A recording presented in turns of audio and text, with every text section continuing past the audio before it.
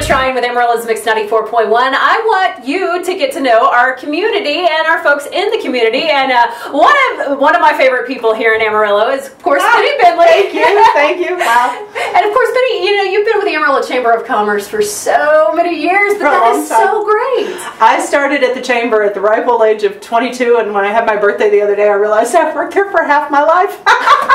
so yeah, do the math. I'm 44. Um, yeah, I started in actually in January of '95. I, I used to work on the convention and visitor council side, so I was a convention assistant. Then I was a convention sales manager, so I helped go out on. I got to travel a lot, bring some conventions to town. That's one of the things the convention and visitor council does is goes out and tells people why Amarillo is a great place to hold a convention. Um, so I got to see a lot of places and do a lot of things, and then children obviously slowed Yeah. me down. So I ran the visitor center that's in the civic center for three years, and then 2006 they moved me back over to the chamber, and and I've been there ever since doing communication. So lots of talking. So in all those years, you've seen so much have seen- change yeah. in, in the Amarillo I world. Yeah. I mean, so what are some of the greatest changes you've seen in our great city? Oh gosh, I didn't know you were going to ask me hard questions. um, you know, I mean, driving downtown the other day, um, going to uh, Center City's new Create event downtown that was on the, you know, the parking lot there by the Globe News Center, and I remember being in the Civic Center, and that was 2003 to 2006, um, watching as they, you know, built that facility, and not to mention the whole reason the Visitor Center went in was because they expanded the Civic Center. So that whole north end of the Civic Center, I saw that grow and you know allow us to bring bigger conventions and different events to town and then i remember watching them build that globe news center across the street.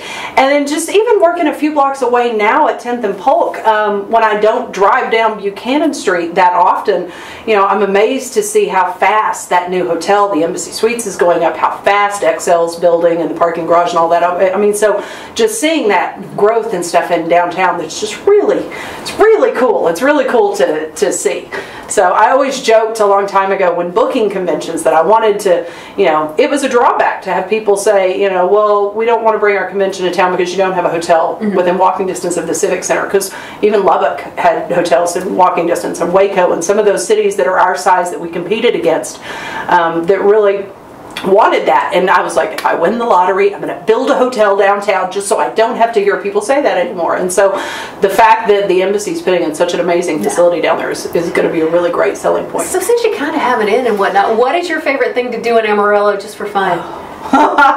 wow um, i you, you know it's kind of one of those things that you know as your kids get you know when you have kids then they get older and then you Yeah. realize everything is is focused on them and driving them to and from i have cheerleaders so i have one off in college now but one in high school and yeah just juggling that gets to be gets to be gets to be hectic but you know i mean we have so many neat things that are unique um, when my oldest came home from college this summer and brought her boyfriend who's from picayune mississippi wherever that is it's down by louisiana not Maggie, it's, it's down by new orleans yeah so i mean he was kind of like oh, what's there to do anymore and they had the best time because they kind of got to go out and play tourist and go to Palo Duro Canyon Yeah. and went and spray painted the Cadillacs and um, took them to the drive-in movie, you know, which is something that so many people take for granted that we have here in Amarillo. Just just things that make it unique. So I love Amarillo. So one more question, because you, I know you have the insight on this. I the know nothing. Chamber Barbecue, you know, Yes, it's coming Chamber up. barbecue. Yeah. Where's the best ribs at the Oh, Chamber Barbecue? see, that's one of those things is uh, because the event is, uh, I, I communications means I get to take a lot of pictures and video and things like that at our event too. So I'm constantly running like nonstop um, through that event. And if I stopped and ate every time somebody offered me food, I would get nothing done and would it would be not pretty. Um, but there there are so many. It is so hard to pick just one because I can't go through and eat. 100 Right. ribs at 100 cooking teams. Um, so, I mean, I, I don't know that I've ever had bad food at the barbecue. Let's just call the corn the best thing out there. the corn. The corn is, you know, the corn is. I hate. To, it is one of my favorites. I mean, so yeah, we like to we like to say that even if you're a vegetarian, there's options for you at the chamber barbecue because there's lots of corn. There's cobbler. There's beans. There's other side dishes that aren't all involved in meat, but. I mean, let's face it, the meat's the best part. So, well, if there's anybody out there that wants to get to know you better, they can always just go to the Chamber Facebook Yeah. because you're always on. I'm, I'm I am usually the voice behind the Amarillo Facebook.com slash Amarillo Chamber or on Instagram or on Twitter. Um, uh, Facebook.